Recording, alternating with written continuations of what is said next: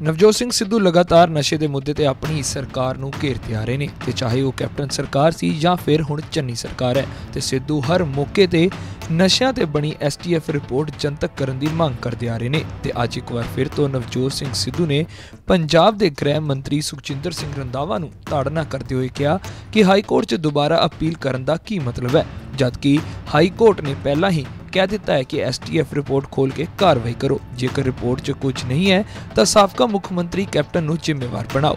ਦੱਸ ਦਈਏ ਕਿ ਨਵਜੋਤ ਸਿੰਘ ਸਿੱਧੂ ਵੱਲੋਂ ਸੁਖਜਿੰਦਰ ਰੰਧਾਵਾ ਨੂੰ ਅੱਜ ਇਸ ਕਰਕੇ ਤਾੜਨਾ ਕੀਤੀ ਜਾ ਰਹੀ ਹੈ ਕਿ ਬੀਤੇ ਦਿਨ ਸੁਖਜਿੰਦਰ ਰੰਧਾਵਾ ਵੱਲੋਂ ਇੱਕ ਬਿਆਨ 'ਚ ਕਿਹਾ ਗਿਆ ਸੀ ਕਿ ਅਸੀਂ ਦੁਬਾਰਾ ਤੋਂ ਹਾਈ ਕੋਰਟ 'ਚ ਐਸਟੀਐਫ ਰਿਪੋਰਟ ਖੋਲ੍ਹਣ ਲਈ ਅਪੀਲ ਕਰਾਂਗੇ। ਤੇ ਇਸ ਤੇ ਹੀ ਸਿੱਧੂ ਵੱਲੋਂ ਅੱਜ ਸੁਖਜਿੰਦਰ ਰੰਧਾਵਾ ਨੂੰ ਘੇਰਦੇ ਹੋਏ ਇਹ ਗੱਲ ਕਹੀ ਗਈ ਹੈ। ਤੇ ਇਸ ਦੇ ਨਾਲ ਹੀ ਨਵਜੋਤ ਸਿੰਘ ਸਿੱਧੂ ਵੱਲੋਂ ਹਾਈ ਕੋਰਟ ਦੇ ਆਰਡਰ ਦੀ ਵੀ ਕਾਪੀ ਸਾਂਝੀ ਕੀਤੀ ਗਈ ਹੈ, ਜਿਸ ਦੇ ਜ਼ਰੀਏ ਸਿੱਧੂ ਨੇ ਦਾਅਵਾ ਕੀਤਾ ਹੈ ਕਿ ਹਾਈ ਕੋਰਟ ਨੇ ਕਿਹਾ ਹੈ ਕਿ ਰਿਪੋਰਟ ਤੇ ਕਾਰਵਾਈ ਕੀਤੀ ਜਾਵੇ।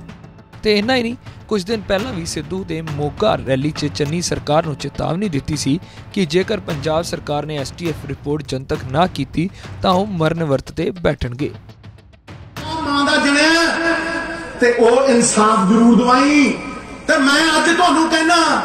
ਜੇ ਇਹ ਰਿਪੋਰਟ ਨਾ ਖੋਲੀ ਪੰਜਾਬ ਸਰਕਾਰ ਨੇ ਤੇ ਨਵਜੋਤ ਸਿੰਘ ਸਿੱਧੂ ਆਪਣੀ ਦੇਹੀ ਦਾ ਦੇ ਉੱਤੇ ਲਾਓ ਮਰਨ ਵਰਤ ਦੇ ਉੱਤੇ ਜਾਓ ਜਾਓ ਕਹਿੰਦਾ ਤੁਹਾਨੂੰ ਕਹਿੰਦਾ ਤੁਹਾਨੂੰ ਜੇ ਰਿਪੋਰਟ ਪੰਜਾਬ ਸਰਕਾਰ ਨੇ ਨਾ ਖੋਲੀ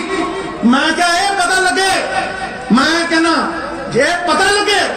ਕਿ ਪਿਛਲਾ ਮੁੱਖ ਮੰਤਰੀ 4.5 ਸਾਲਾਂ ਤੇ ਸੁੱਤਾ ਕਿਉਂ ਪਿਆ ਰਿਹਾ ਇਹ ਪਤਾ ਲੱਗੇ ਕਿ ਹੋਮ ਮਿਨਿਸਟਰ ਤੇ ਸੁੱਤਾ ਕਿਉਂ ਪਿਆ ਰਿਹਾ ਇਹ ਪਤਾ ਲੱਗੇ ਹੁਣ ਤਾਂ ਸਰਕਾਰ ਤੁਹਾਡੀ ਆ। ਤੁਸੀਂ ਕਹਿ ਕੇ ਆਏ ਸੀ, ਇਸੇ ਗੱਲ ਦੇ ਉੱਤੇ ਕਹਿ ਕੇ ਆਏ ਸੀ, ਲੱਖਾਂ ਨੌਜਵਾਨ ਬਰਬਾਦ ਹੋ ਗਏ, ਲੱਖਾਂ ਸੂਬਾ ਛੱਡ ਕੇ ਚਲੇ ਗਏ। ਤੇ ਲੱਖਾਂ ਅੱਜ ਮਾਵਾਂ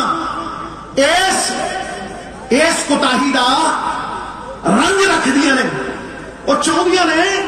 ਕਿ ਉਹਨਾਂ ਦੇ ਪੁੱਤ ਜਿਹੜੇ ਸਿਰਿਆਂ ਦੇ, ਅੱਜ ਵੀ ਉਹਨਾਂ ਦੇ ਕਾਲਜਾਂ 'ਚ ਵਲਦੇ ਆ, ਉਹਨਾਂ ਦਾ ਸਿਰਾ ਮਿਲੇ, ਉਹਨਾਂ ਦਾ ਸਿਰਾ ਮਿਲੇ। ਤੇ ਹੁਣ ਪੰਜਾਬ 'ਚ ਚੋਣਾਂ ਨੂੰ ਕੁਝ ਹੀ ਸਮਾਂ ਰਹਿ ਗਿਆ ਹੈ ਤੇ ਹੁਣ ਦੇਖਣ ਵਾਲੀ ਗੱਲ ਹੋਵੇਗੀ ਕਿ ਨਵਜੋਤ ਸਿੰਘ ਸਿੱਧੂ ਦੀ ਗੱਲ ਮੰਨੀ ਜਾਂਦੀ ਹੈ ਜਾਂ ਫਿਰ ਨਹੀਂ ਮੰਨੀ ਜਾਂਦੀ ਹੈ, ਜਾਂ ਫਿਰ ਐਸਟੀਐਫ ਦੀ ਰਿਪੋਰਟ ਜਨਤਕ ਕਰਨਾ ਇੱਕ ਚੁਣਾਵੀ ਮੁੱਦਾ ਹੀ ਬਣ ਕੇ ਰਹਿ ਜਾਂਦਾ ਹੈ। ਬਿਊਰੋ ਰਿਪੋਰਟ, ਪੰਜਾਬ ਤੱਕ।